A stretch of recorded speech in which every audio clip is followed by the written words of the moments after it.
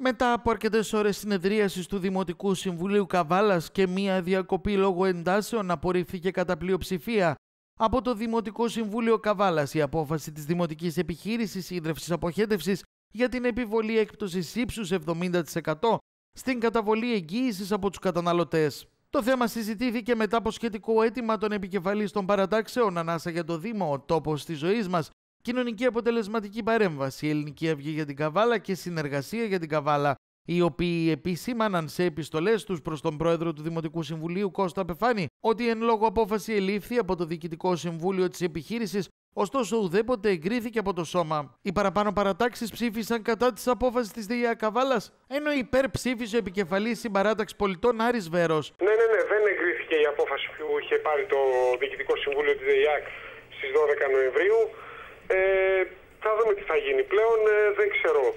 Ε, Εμείς πάυσαμε την απόφαση, δηλαδή δεν ισχύει πλέον, ισχύει παλιά, ο παλιός κανονισμός για 100 ευρώ εγγύηση από 30 που ήταν.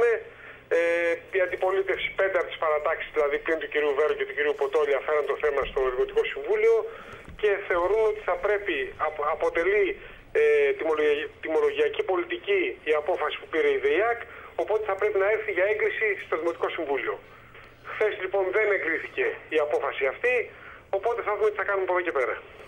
Άρα τώρα όταν οι πολίτες κληθούν να καταβάλουν αυτή την εγγύηση, ποιο είναι το ποσό που θα καταβάλουν; 100 ευρώ. 100 ευρώ. Ή, ναι, ναι, ναι. Ισχύει ο κανονισμός που είχε ψηφιστεί τον Νοέμβριο του 2018. Υπήρξαν πολίτες οι οποίοι πρόλαβαν να καταβάλουν τα 30 ευρώ με την έκπτωση; Ναι, βέβαια, βέβαια. Βέβαια υπήρχαν αρκετοί. Τι θα γίνει με αυτούς, Θα το δούμε. Ακόμη δεν ξέρουμε. Θα, θα το δούμε γιατί, γιατί λέω θα το δούμε.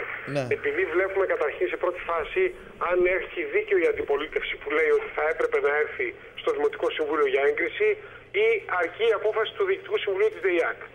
Όταν δούμε τι θα συμβεί με αυτό, τότε θα σας πω τι θα γίνει και με αυτούς που δώσαν ήδη τα 30 ευρώ.